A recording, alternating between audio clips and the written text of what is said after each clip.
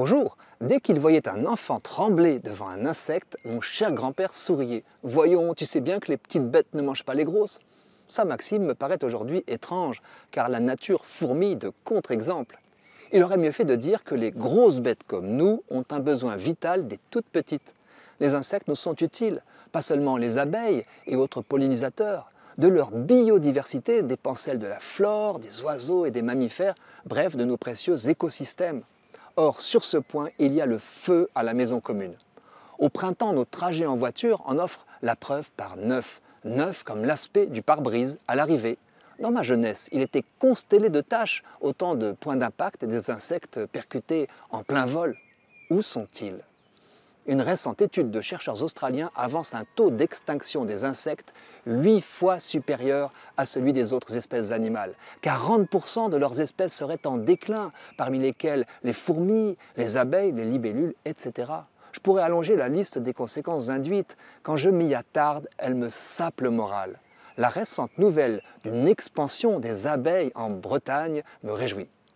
Bien sûr, tout cela réclame des solutions globales. Comment s'étonner du problème si l'équivalent d'un département français est bétonné tous les dix ans? Mais chacun peut agir à son niveau. C'est ce que j'essaie de faire en sanctuarisant certaines zones de notre jardin interdites de tondeuses.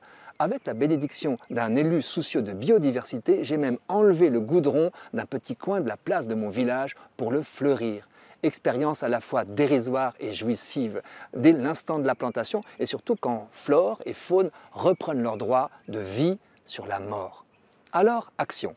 Que celui qui a un jardin en réserve un bout au monde des insectes. Comme on ne protège bien que ce que l'on aime, la démarche nécessite de prendre conscience de l'apport au bien commun des espèces à favoriser, comme la coccinelle, tueuse de pucerons.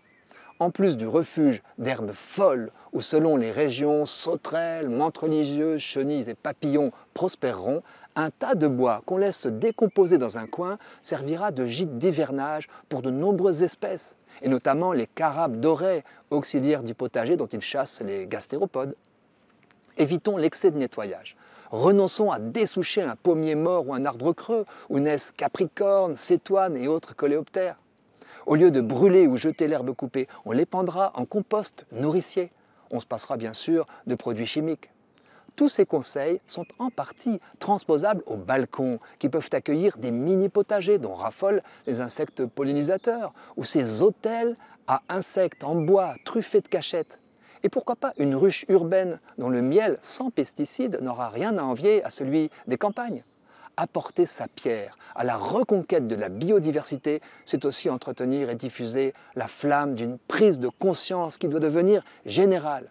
Pour ma part, Amoureux des insectes que j'ai longtemps collectionnés, je ne les chasse plus que des yeux. Et cela me régale.